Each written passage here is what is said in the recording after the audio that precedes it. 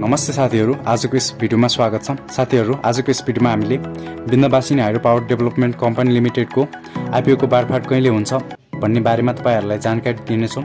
त्यसैले आजको यस भिडियोलाई अन्त्यसम्म हेरी हाम्रो च्यानलमा नयाँ हुनुहुन्छ भने यस्तै सेयरसँग सम्बन्धित भिडियोका लागि च्यानललाई सब्सक्राइब गर्नुहोला र नजिकै रहेको बेलायकनमा क्लिक गर्नुहोला।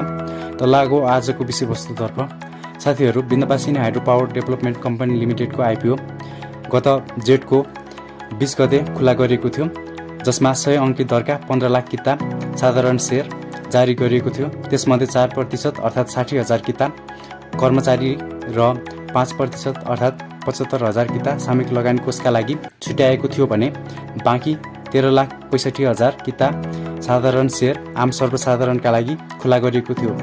र यस कम्पनीको क्लोजिङ डेट अर्थात् आइपिओको क्लोजिङ डेट जेठ पच्चिसलाई तोकिएको थियो।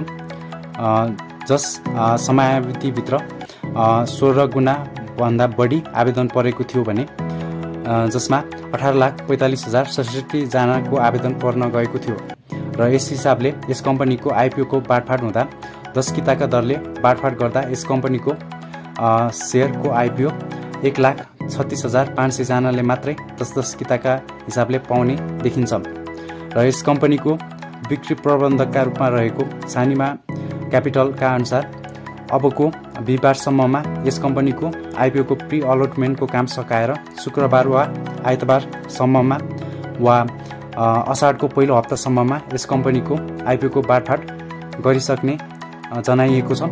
यस हिसाबले यस कम्पनीको बाँडफाँड छिटै नै हुन लागेको छ। साथीहरू यस कम्पनीको आइपिओको रिजल्टको प्रतीक्षामा रहनुभएका सम्पूर्ण साथीहरूमा अग्रिम शुभकामना पनि रहेको छ। अन्त साथीहरू यस कम्पनीको आइपिओको बाँडफाँडको रिजल्टको लागि हामीले केही समय प्रतीक्षा गर्नुपर्नेछ। ल त साथीहरू आजको यस भिडियोमा यति नै। भिडियोलाई अन्त्यसम्म हेरिदिनु भएकोमा धन्यवाद।